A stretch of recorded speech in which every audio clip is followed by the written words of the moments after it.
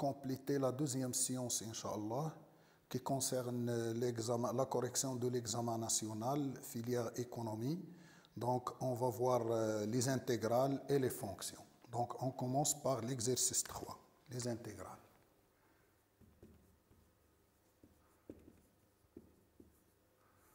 Donc, dans l'exercice 3, ils ont donné deux intégrales et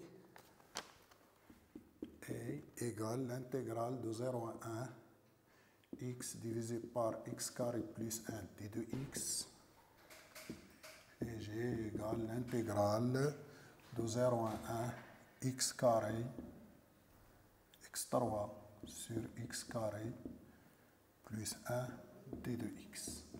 Donc la question 1, calculer, donc calculons et donc on a égale l'intégrale 0,1 x sur x carré plus 1 d de x. Donc on va utiliser la formule u' divisé par i. Parce que là, la dérivée de x carré plus 1, ça fait 2x. Donc on a besoin d'un 2. On va multiplier fois 2 et diviser par 2. Donc on va obtenir 1 2b, l'intégrale 0,1 2x sur x carré plus 1 d de x. Donc 1 demi, l'intégrale 0,1 2x, c'est la dérivée de x carré plus 1. Donc Donc, U' sur I, la fonction primitive de U' sur I, c'est ln de la valeur absolue de I.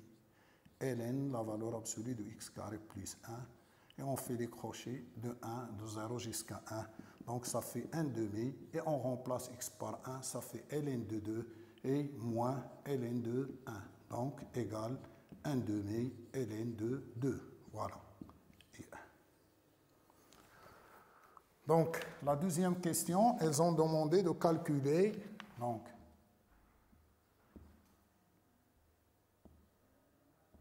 calculons A plus G. Donc, on a égal les deux intégrales, donc de 0 jusqu'à 1, x divisé par x carré plus 1 t de x plus l'intégrale de 0 à 1, x3, x carré plus 1 t de x. Donc, on a droit de sommer les intégrales parce que l'intégrale de euh, f plus g égale à l'intégrale de f plus g. Donc, l'intégrale 0, 1, x plus x3. Donc, on va factoriser par x. Donc, il reste x carré plus 1 sur x carré plus 1 t de x, qui égale l'intégrale de 0 à 1 x t de x. Donc la fonction primitive de x, c'est 1 demi x carré. x compris entre 0 et 1, on remplace par 1, donc on obtient 1 demi, et on remplace par 0, ça fait 0. Donc i plus g égale 1 demi. Donc, la question 3, ils ont demandé déduire la valeur de l'intégrale j. Donc, question 3, on a I plus J égale 1 demi, ce qui implique que J égale à 1 demi moins I, qui égale à 1 demi moins 1 demi, ln de, je pense, ln de 2. Donc, qui égale à 1 demi facteur 1 moins ln de 2. Et voilà. Donc, l'exercice 4, on a terminé les intégrales. Donc, l'exercice 4,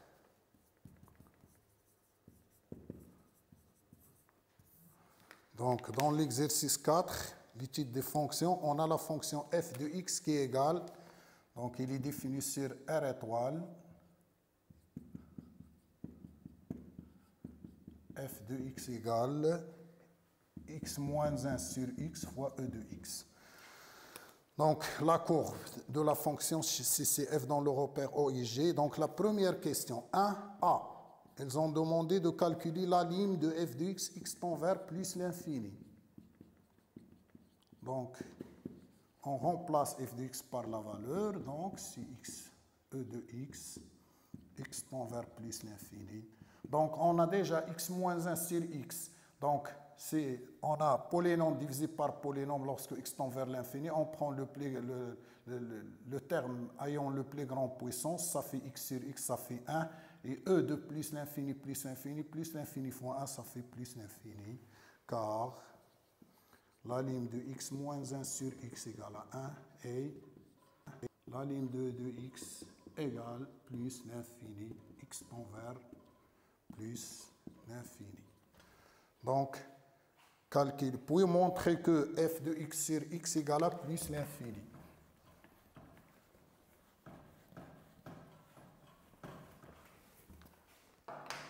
Donc, on a lim de f de x sur x, x tend vers plus l'infini, égale la lim de x moins 1 sur x fois e de x, de tout divisé par x.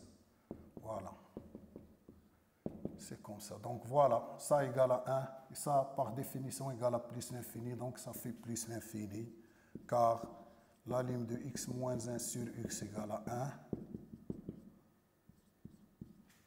1, et la limite de e de x sur x, x tend vers plus l'infini égale donc l'interprétation géométrique, lorsqu'on a la ligne de f de x, tend vers plus l'infini égale à plus l'infini, et la ligne de f de x divisée par x, x tend vers plus l'infini égale à plus l'infini, on dit que la courbe CF admet une branche parabolique de direction OY. Donc, CF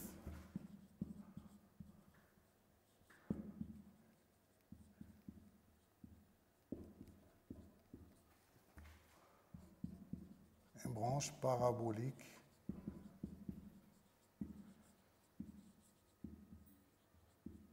de direction OY au voisinage de plus l'infini.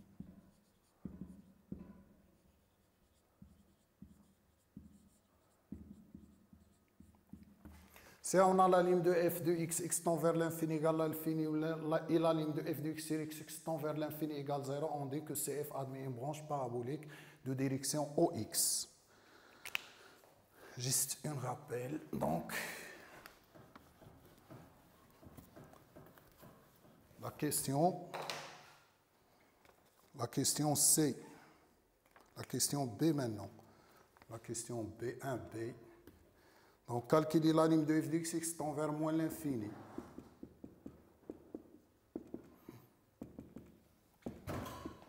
On remplace et on calcule, parce qu'on a ici un produit, donc on calcule la limite de i puis la limite de v. Donc la limite de x moins 1 sur 1, ça fait 1. La limite de e de x, x tend vers moins l'infini, e de moins l'infini égale 0, donc ça fait 0. C'est bon. Donc, interpréter. Donc, on a la ligne de f de x, x tend vers moins l'infini, égale un réel b. C'est-à-dire que la courbe admet une asymptote d'équation y égale à 0. Donc, CF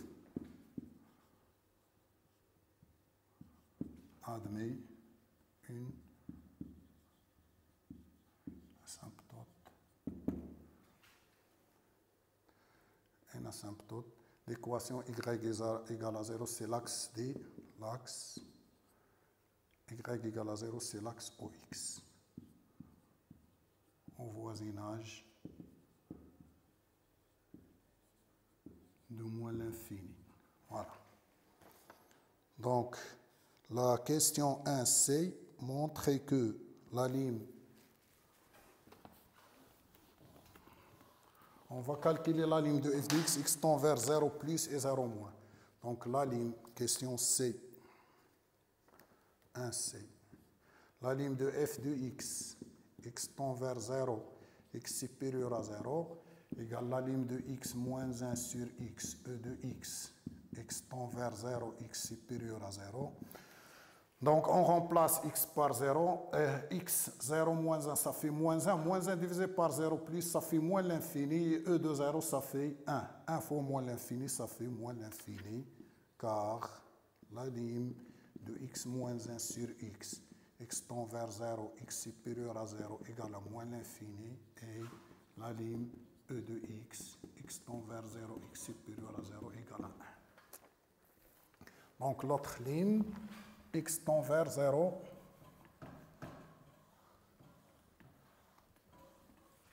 x tend vers 0 moins. Donc ligne f de x, x tend vers 0, x inférieur à 0, égale à la ligne x moins 1 sur x, e de x, x tend vers 0, x inférieur à 0. Donc ici on a moins 1, ici on a 0 moins, donc ça fait plus l'infini fois 1, ça fait plus l'infini. Donc de même, car la ligne de x moins 1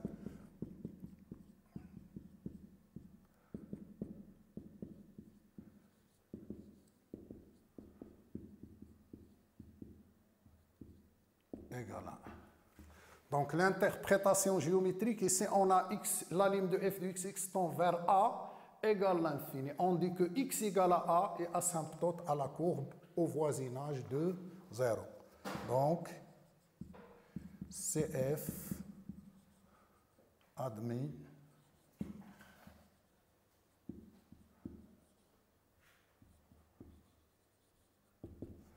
une asymptote x égale à 0.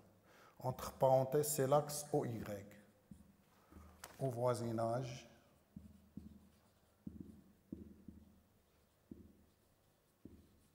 de 0. Voilà. Donc, pour la question 2, montrer que f' de x égale 2a. Donc, on va calculer la dérivée de la fonction f. Donc, on a f de x qui est égal x moins 1 sur x e de x. Quel que soit x appartient à R étoile. La fonction f il est dérivable comme produit de deux fonctions dérivables. Donc, on va appliquer la formule de i fois v. Donc, f' de x égale x moins 1 sur x' fois e de x plus x moins 1 sur x fois e de x'. Ça, c'est vrai, quel que soit x dans R étoile. Donc, pour calculer la dérivée de x moins 1 sur x, c'est mieux de simplifier x moins 1 sur x, ça fait x sur x, ça fait 1, 1 moins 1 sur x. Donc, on va obtenir 1 moins 1 sur x, le tout prime, fois e de x. Au lieu d'utiliser i sur v, voilà, c'est une simple technique pour avoir, elle est très très facile de le calculer directement en utilisant la dérivée de 1, ça fait 0, moins 1 sur x, ça fait 1 sur x carré.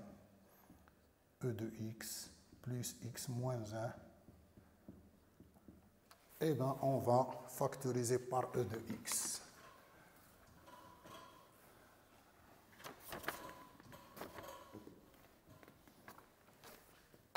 Donc,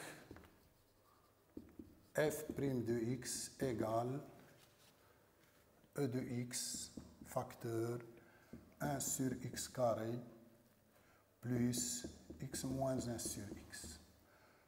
Donc,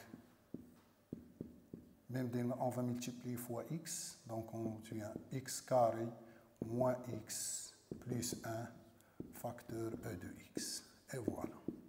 Ça vrai quel que soit x dans R étoile. Donc, deuxième question B. Elles ont demandé quoi? Montrer que quel que soit pour tout x dans R étoile, on a f' supérieur à 0. Donc, il faut étudier le signe de e de x, le signe de x carré et le signe de x carré moins x plus 1. On a déjà, on a f' de x égale x carré moins x plus 1 sur x carré fois e de x. Donc, comme e de x il est supérieur strictement à 0, et x carré supérieur strictement à 0, quel que soit x dans R étoile, alors le signe de f' de x est signe de x carré moins x plus 1. Donc comme delta, comme delta égale à moins 3, il est négatif. Et A égale à 1 1 qui est positif, alors le signe de x carré moins x plus 1 est le signe de a. Donc, x carré moins x plus 1 est supérieur à 0. Donc, on l'appelle ça 1 et a, ça c'est 2. Ça c'est vrai que x soit x dans, même si x dans R. Donc, on prend x dans R étoile, on l'appelle 2. Donc, d'après 1 et 2, on a le résultat.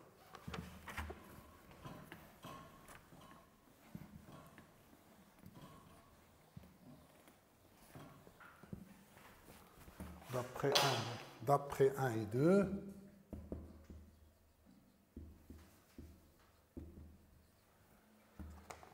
D'après 1 et 2, on a f' de x supérieur à 0, quel que soit x dans R étoile. Donc, L'autre question 2c, on déduire, que, le sens de variation de f sur les intervalles moins l'infini 0 et 0 plus l'infini. Comme on a f', il est positif sur R étoile, c'est-à-dire que f' positif sur l'intervalle, l'intervalle moins l'infini 0. Donc la question 2c.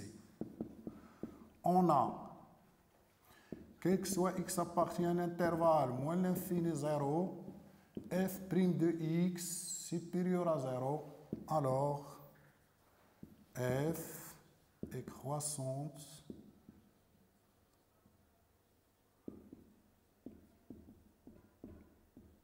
Elle est strictement croissante. Mais on peut dire que tout simplement que la, la fonction est croissante. Donc elle est croissante et on a, quel que soit x appartient à l'intervalle moins l'infini 0, f' de x supérieur à 0, alors f est croissante sur 0 plus l'infini. De même ici, on a la fonction, elle est strictement croissante sur l'intervalle. Donc 2t, ils ont demandé de calculer f de 1. Donc, calculons f de 1. Donc, juste on remplace, dans la formule de f de x, on remplace x par 1. Donc, on obtient f de 1 égale à 1 moins 1 sur 1 fois e de 1. Donc, ça fait 0. Puis, ils ont demandé le... Euh, donner la question 3a, donner une équation de la tangente t au point d'abscisse 1 3a. Donc l'équation de la tangente. L'équation de la tangente au point d'abscisse 1. Donc on sait bien que l'équation de la tangente, c'est quoi? C'est y, la forme générale, y égale à f' de x0, facteur x moins x0, plus f de x0. Et ici on a x0 égale à 1.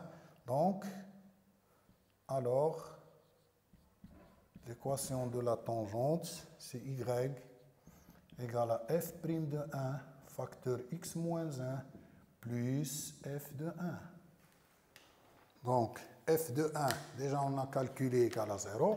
Donc, on calcule f' de 1, on remplace dans la formule de f' de x. Donc, on peut l'écrire ici. Déjà, on a, on a f de 1 égale 0 et f' de 1 égale. f' de 1, on remplace ici par 1. Donc 1 moins 1, ça fait 0. Donc 1 sur 1, 1, e. De 1, ça fait e. Et voilà l'équation de la tangente.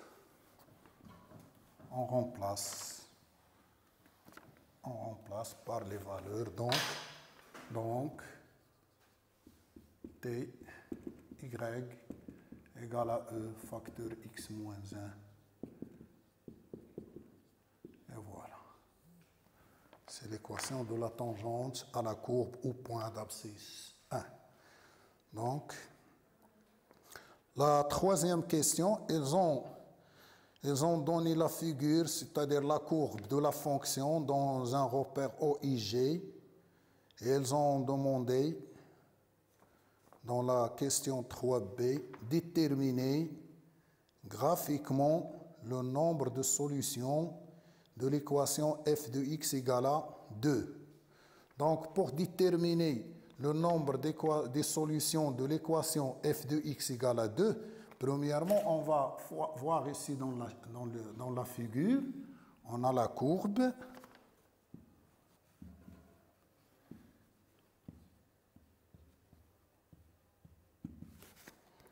Donc, notre courbe est déjà donnée.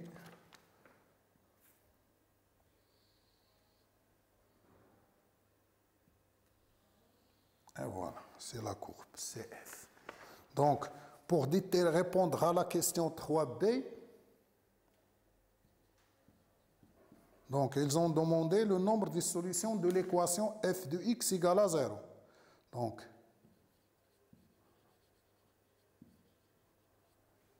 donc le nombre de solutions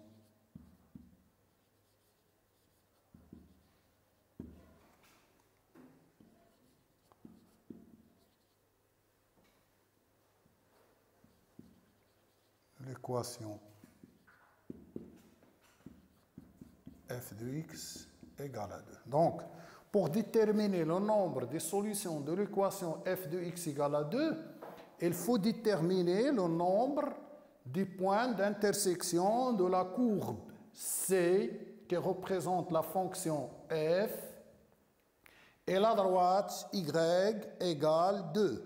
La droite y égale à 2 on va tracer ici la droite Y. Toujours, on prend Y égale à cette quantité-là, Y égale à 2. Donc 1, 2. On trace la droite. Voilà. Y égale à 2. Cette droite, il coupe la courbe en deux points. Voilà le premier point et le deuxième point. Donc, les nombres de solutions, on a deux solutions. Ce sont les abscisses des points d'intersection ils ne nous ont pas demandé de déterminer les solutions, mais ils ont demandé de déterminer tout simplement le nombre des solutions. Donc, on a deux solutions. Donc, d'après la figure, donc quelle question? On est dans la, les questions de Donc, d'après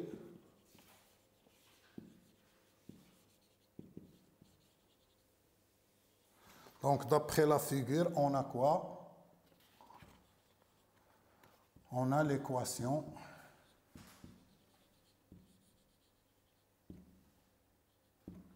l'équation f de x égale à 0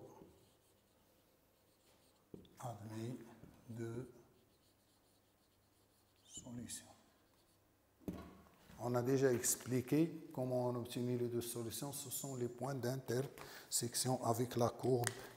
La courbe et la droite, y égale à 2.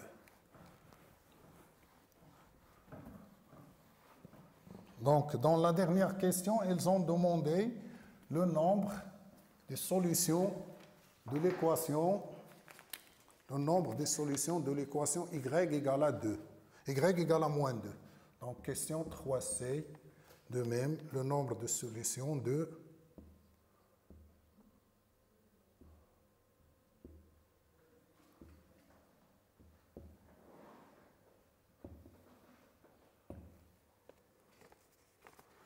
l'équation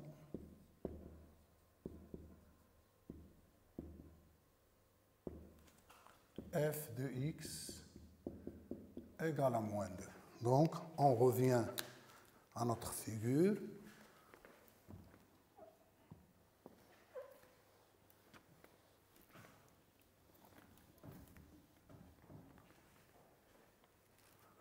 Donc, on a ici f de x égale à moins 2. Donc, on va tracer la droite d'équation y égale à moins 2.